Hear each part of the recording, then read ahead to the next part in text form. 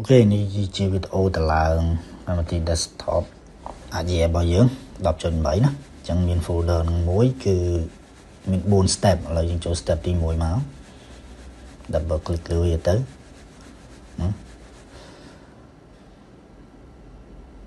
ចុច next មក accept យើងមើលទីតាំងដែលវា store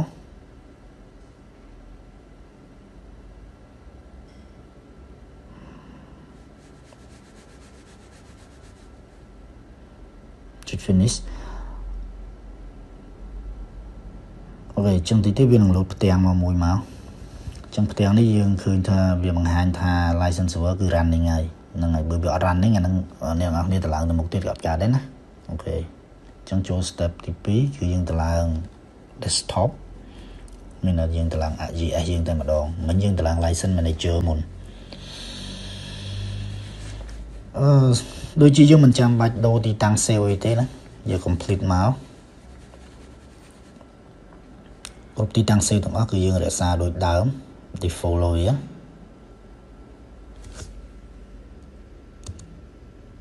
អានេះយើងដោះចេញមកណាដោយសារវាយើងដាក់មាននៅភ្ជាប់អ៊ីនធឺណិតអញ្ចឹងយើងដោះវាចេញទៅហើយយើងរងចាំឲ្យវាតឡើងឲ្យចប់ទៅ នេះខ្ញុំសារទេវីដេអូនេះអញ្ចឹងវាប្រើពេលយូរតិចដែរអូខេចុច cancel មកលើផ្ទាំងនេះយើងចាប់ផ្ដើមចូល step ទី3គឺយើងទៅឡើង extension data in interoperability ណាចុច next ម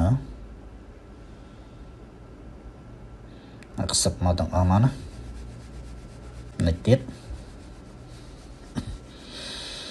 រងចាំឲ្យវាចប់ដូចគ្នាអានេះខ្ញុំក៏សារដូចគ្នាដែរខ្ញុំសារវាឲ្យវាលឿនព្រោះត្រូវការប្រើពេលណា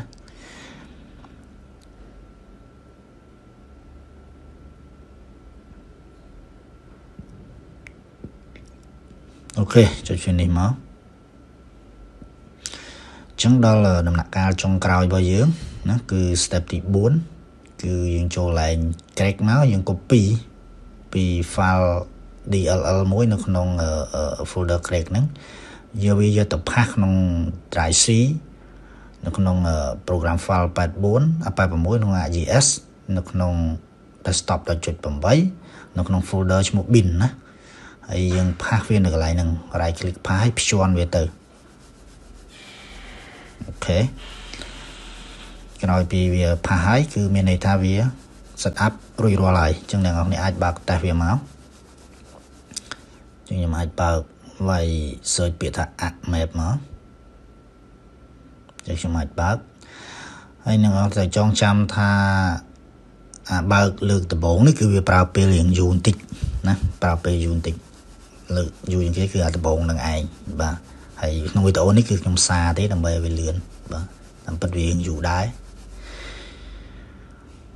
អូខេក្រោយមកវានឹងលោតផ្ទាំងអស់នេះមើលនេះ បាទអញ្ចឹងខ្ញុំមិនទាន់និយាយពីការ set up software នឹងអីច្រើនទេខ្ញុំគាត់បើកឲ្យអ្នកអស់ឲ្យមើលឃើញថា crack របស់យើងគឺដំណើរការហើយយើងមើល version របស់វាទៅបាទនេះគឺ version 10.8.2ណាបាទអូខេអញ្ចឹងវីដេអូនេះគឺសន្មត់ចប់ប៉ុណ្ណឹង